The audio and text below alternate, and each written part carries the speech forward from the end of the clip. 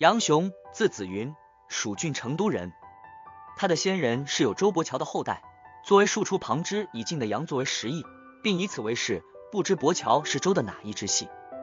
杨在河汾之间，周衰亡后，杨氏有人称侯，号称杨侯。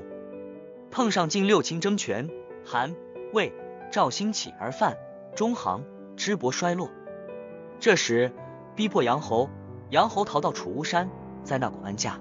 楚汉兴起时，杨氏逆江上行，住到巴江州。杨继官做到庐江太守。汉元顶尖躲避仇人，又逆江上行。住到崤山南面的皮，有一潭田，一曲宅。世代以耕种养蚕为职业。从姬到雄，五代只有一子单传，所以杨雄在蜀没有别的杨族。杨雄小时候好学，不研究章句，通晓字词解释而已，博览群书，无所不读。为人平易宽和，口吃不能快速讲话，静默爱沉思，清静无为，没有什么嗜好欲望，不追逐富贵，不担忧贫贱。不故意修炼品性来在世上求取声名，家产不超过十斤，穷的没有一食余粮，却很安然。自身胸怀博大，不是圣哲的书不喜欢，不合己意，即使能富贵也不干，却很喜欢慈父。此前蜀有司马相如，作赋很壮丽典雅，杨雄心中佩服他，每次作赋常把他作为榜样模仿，又惊讶屈原文才超过相如，却至于不被容纳，做离骚，自己投江而死。为他的文章感到悲伤，读时没有不流泪的。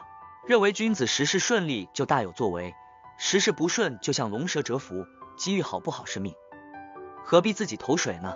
便写了一篇文章，常常摘取《离骚》中的句子而反驳他。从树山投到江水中来哀悼屈原，名为《反离骚》。又依《离骚》重作一篇，名叫《广骚》。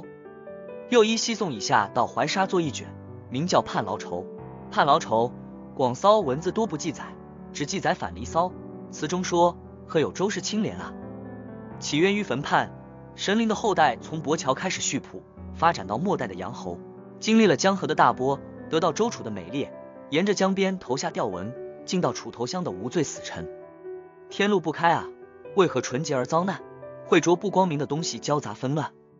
汉金时代到了阳朔，招摇计时为周正月。取法于皇天的清明和大地的周正，想到你是贵族之后，又看到你的美好的文辞，佩戴着规矩和横气，踩着妖星的足迹。平素身穿美衣，为何文采纵横却性情狭隘？身有邹娃的美发，却卖到九龙去求利。凤凰在蓬荜飞翔，哪果是价额赶得上的？一流跑在曲折险阻中，便艰难与驴骡齐步。只及脏乱，袁行担心不敢下去。楚王既然相信坦。言的谗言，你为何不早察觉？穿着季茄的绿衣，披着芙蓉的朱裳，芳香浓烈，没人间道，不如叠好放在别的屋中。女子们比赛容姿绰约，互相以佳丽之态争比，知道美女们的嫉妒，你何必皱起蛾眉？美好的神龙潜伏深渊，等待云起而腾飞，没有春风纷扬，谁知龙的所在？可叹你多芬芳，飘散光盛的香菱，遭到季夏的冷霜，夭折而失去了美丽。渡过辽，抵往南，到那苍梧，乘着辽潭的浮波，向重华讨个公正，诉说心中的烦恼。怕重华不向着你，乘着杨侯的白浪，难道单会赞许你？戏琼蟹和秋菊，要用来长享天年。面对戏困自沉，怕日落西山。解开扶桑的车辔，让他放纵奔驰，鸾凰飞腾都赶不上。不只是银庆和恶面，卷起壁纸和若会，投入箱底，大把的深交和俊贵。淹没于江湖，用胶许请神，又找到很多穷毛，不听从灵分的占卜，却在江畔投水身亡。你既仰慕父说，为何不真的实行？突然担心悲歌要叫，却在百草之前不芬芳。原来你抛弃了楚妃，又想瑶台的美女，叫熊振来做媒，为何多次离去，一个也配不上？乘着以你的云霓，向肯河周游，放眼四方而感怀，何必非在高丘做官？既没有圣美的鸾车。又怎驾威仪的八龙？对着江畔抹泪，又怎么有九朝和九歌？圣哲的遭遇本是天时和命运，虽常西线感叹，怕灵修也不因你而改变。从前仲尼离开鲁，来来往往周游，最终回到旧国，何必非投身乡底激流？以为渔父吃糟喝烟污浊，自己沐浴后抖去衣尘纯洁，丢掉油胶所珍重的，重蹈彭贤的覆辙。金旦事时，有门客推荐岁的文章向丹营，皇上正交辞居肯三十，尽堕后土，来求祭祀。赵沃雄在承朗亭中待诏。正月，跟着上居星回来上奏甘泉赋讽谏。词中说，选帝时代要交祀上玄，祭三木，求神佑，尊名号，合于三皇，仿效武帝，优厚赐福，开拓四统。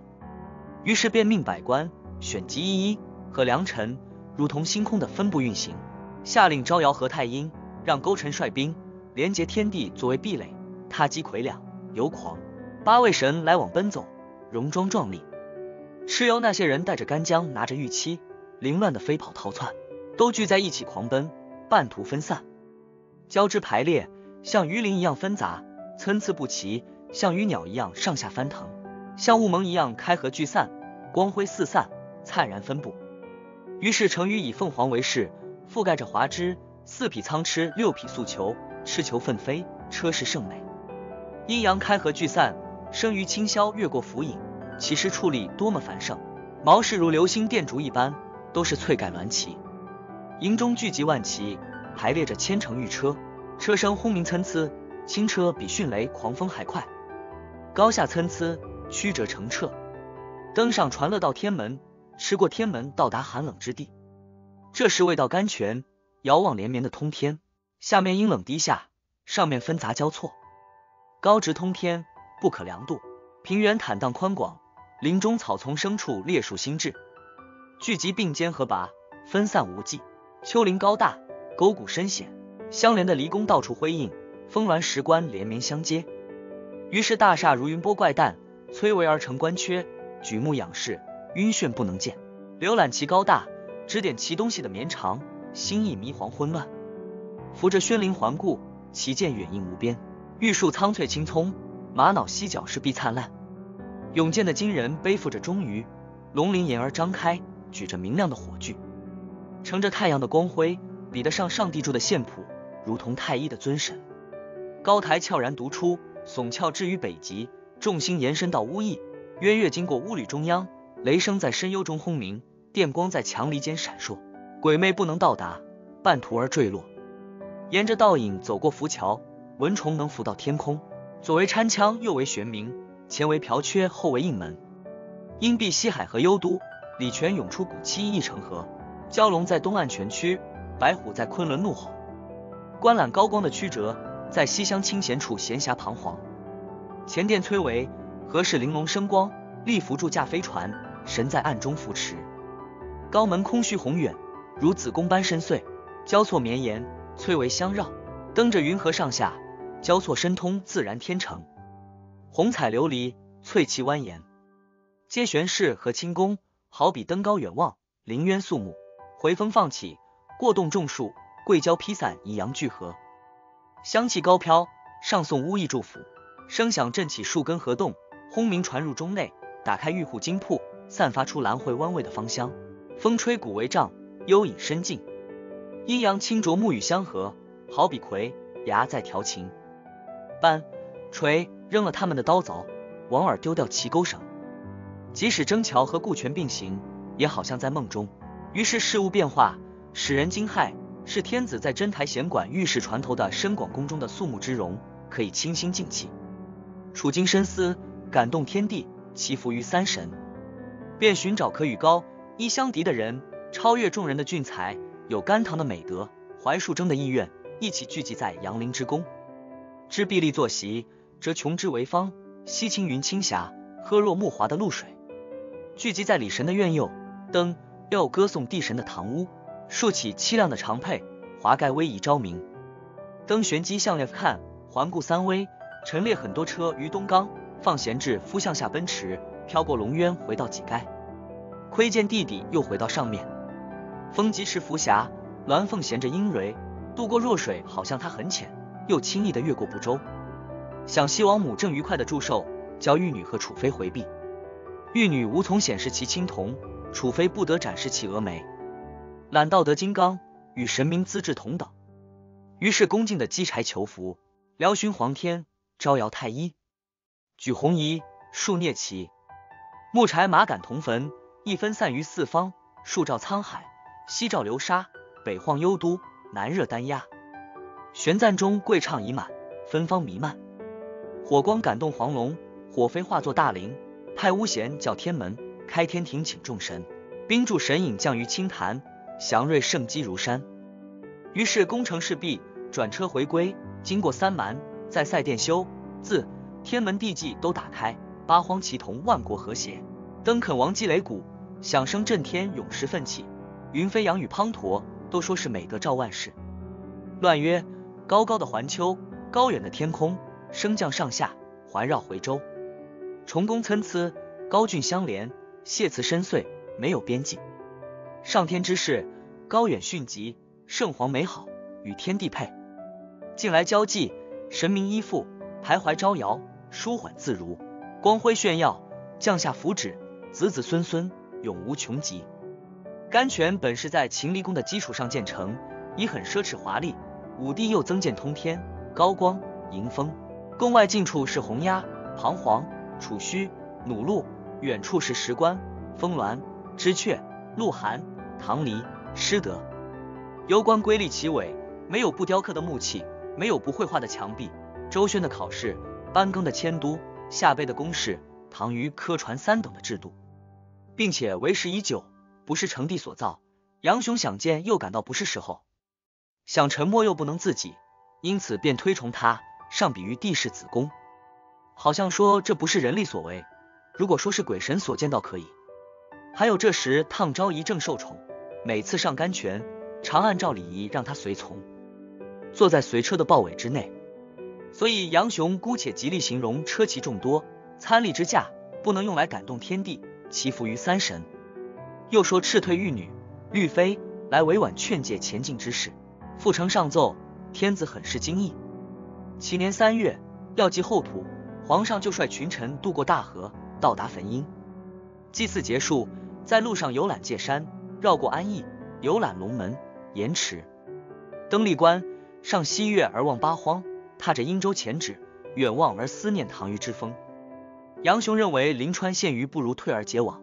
回去后，献上河东赋加以讽谏。赋中说，这年晚春。要祭后土，拜灵旗，到树交坟阴。于是乐客尊名，垂传红叶，发祥降福，敬顺神明，非常盛美，不能尽书。于是命令群臣整齐法服，灵旗执翠凤装饰之车，六马迅疾之车程，调转奔星般的流毡，拉开天狼的威虎，张开耀日的玄毛，扬左道，披云狮，举殿鞭，驾雷车，敲响大钟，竖起五旗。西河主管太阳，阎轮驾车，风吹帆拂，神鬼腾奔，千车万骑，盛乱壮杰，怡然自得，天地动摇。跳过秋山，越过精卫，秦神恐惧跳跃，魂已低暗。和灵惊动，掌巨华，足蹈摔，便到了阴宫，肃肃穆穆，行动有节。灵旗已到，五方之神序次已定，天玄地黄，大兴于后。于是灵于稳步。周游安域，观澜起业，探塞宫而为雄伤感，在龙朗未到大禹，开沟导流洪水，布散九河于东海之滨。登上历关遥望，漫游规划，欣赏往昔的浅风，喜欢于是所耕之地，看到了帝堂的高大和圣州的安宁，徘徊不能离去，想看垓下和彭城，憎恶南朝的崎岖，喜爱滨崎的广平，乘翠龙渡河，登上峥嵘的西岳。云飘飘而来迎接，雨露降下，寂静幽深，云气萦绕。在南北呵斥风伯，在东西呵斥雨师，合于天地而独立，广大无比。沿路归来，包容诸夏的大汉，别朝怎能与他相比？干坤的真兆，六爻都是龙，驱使勾芒和入收，驾驭玄冥和祝融，勉励众神做到的表率，歌颂六经发挥旗帜，圣德过于有周，仿效三皇。过于武帝，起自平陆，谁说路远不能跟从？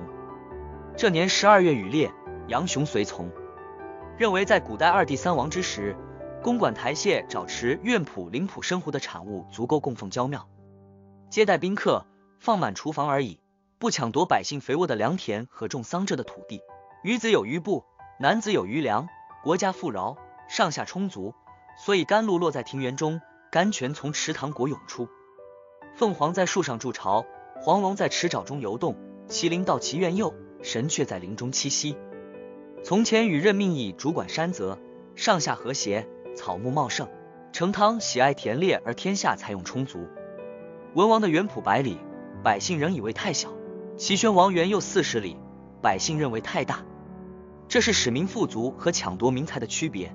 武帝扩展上林，南到宜春、鼎湖、玉素、昆吾，西傍南山，到长阳、五栅，北绕黄山，东临渭水，周长数百里。仿照滇河，挖掘昆明池，营建建章、凤阙、神明、玉梭、建台、太液，取向海水环绕方丈、瀛洲、蓬莱，游观奢华，美妙无比。虽然把上林苑的三个边割了不少给平民，然而与列田车战马器械储备宫墙的建制，仍太奢侈浮华，不是尧、舜、成汤、文王三区的本意。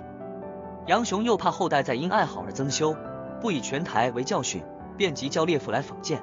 词中说有人称赞西农，难道后代帝王更有文士吗？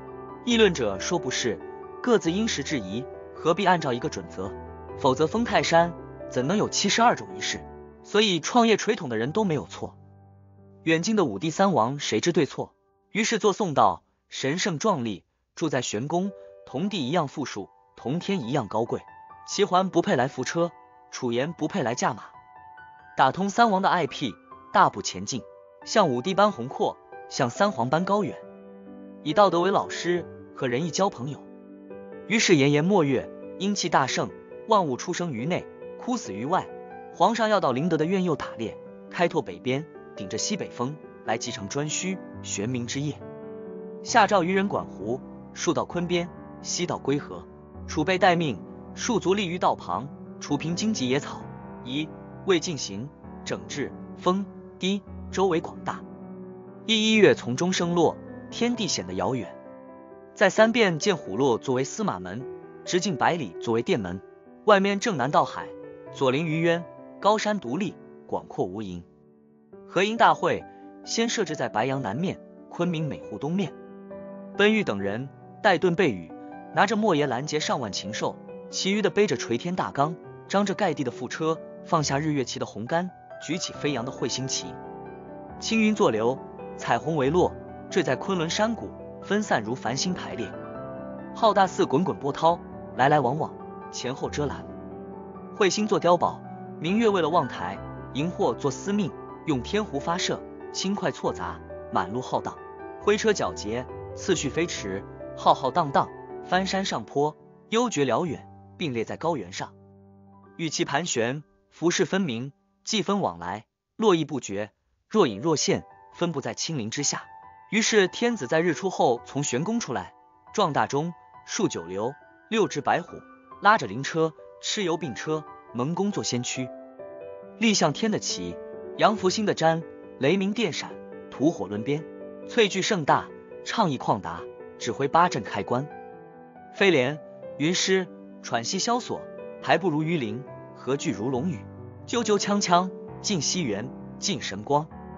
远望平乐，穿越竹林，彩绘园，踏兰坡，燃起烽火，御者险迹，牵马并驱，叫齐万军。萧虎行阵，纵横交错，飙吼雷震，轰轰烈烈，天摇地动，分散弥漫，散布数千万里以外。至于壮士慷慨，一情别去，东西南北随意驱驰。拉苍史，乐西惨，踢伏靡，杀大挺，斗玄元，腾跃凌空，力拔驱数。走趋之，细剑门，尘埃纷起，山谷因此起狂风，丛林因此蒙灰尘。至于能伏夷敌的人，脚踢松柏，掌击棘藜，在草木茂密处打猎，压飞禽，踩虎豹，扯长蛇，勾杀红豹，牵引向西，渡山林，过碑塘，车骑如云，上下难分，太华作流，雄耳作坠，树倒山转，散步如天外，漫步于水边，游牧于境内。于是晴空无云，冯董睁眼，行具拉弓。黄车纷纷，光照天地，望离收江，徐徐到了上沿。阵为变幻，稍稍聚敛，曲折重叠，各岸行伍，壁垒盘旋，伏击如电，碰到的变碎，靠近的就破，鸟来不及飞，野兽不能通过，军队惊骇，扫刮野地。等到喊车飞奔，骑兵迅猛，踏飞豹，捉造羊，追天宝，出于一面，回应忽然之声，伏击流光。山野穷尽，全获雄雌动物，群兽众多，在纵网中张绝。三军众胜，穷追跑兽，截住乱兽。只见飞禽被缚，西四相抵，熊熊搏斗，虎豹惊惶，突然脚底额击，战力恐怖，魂飞魄散，触车伏蛇头颈，乱发箭也能打中，进退都能踩到获取，伤受过于车轮，像丘陵一样堆积。于是飞禽衰亡，互相聚在身闲之馆，面朝真池，饮其凉水，和江河水，数望吉日，希望无际，随诸何事，在坡上闪耀。玉石高尖，青光耀目；汉女潜水，怪物幽暗，不能穷尽其形貌。玄鸾孔雀，翡翠流光；王居关关，鸿雁嘤嘤，在其中游戏，叫叫而鸣。福禄飞禄，上下磕碰，声如雷霆。便叫纹身的济公入水和鱼虫搏斗，破硬冰，入深渊，攀岩伏岸，逼取交翅。踏边塔，捉潮驼，抓灵梢，入洞穴，出苍梧。成大鱼，其巨鲸，漂浮棚里，探望有鱼。正追击有夜光的琉璃，打开明月般的朱腹，鞭打落水的楚飞，宴请屈原和彭须。于是大儒出现，高车官，衣服杂色，修堂典，正雅颂，在前行礼，光明闪耀，声响如神，仁慈的诗会与北狄在南陵进行驿站。所以穿毡裘的大王，胡豪的官长，宋时来朝。举手称臣，前面进入围川，后面陈兵庐山。众公卿长伯杨朱，莫敌之辈，喟然叹道：“道德真高啊！即使有唐、虞、大夏、成州的兴盛，又怎能超过他？太古的朝觐数月，但梁山脚，如不是今世，谁能行呢？”皇上仍谦让说：“不然。”便将从上猎取三陵的流光，下面开掘礼泉之水，打开黄龙洞，偷看凤凰巢。面对麒麟的元佑，到神鸟的树林，缩小云梦和梦珠，借张华孝灵台，少到离宫停止官游，不装饰建筑，不雕画木器，劝民农桑，勉励其不要懈怠，使男女婚配合时，怕贫穷的人得不到丰饶之力，开皇帝陵院，散发公价储粮，开创道德的幼院，宽广仁惠的余则，在神明的元佑中奔驰，观察群臣的得失，放开制图。收起制服，麋鹿柴木和百姓共有，大概到了这种地步。于是大德纯美，盛世良法，慰劳三皇，勉励五帝，不也很盛大吗？于是恭敬和义之人，立君臣节义，尊圣贤功业，无暇于美丽的苑囿和游猎的奢靡。于是调转车头，远离阿房，回到未央。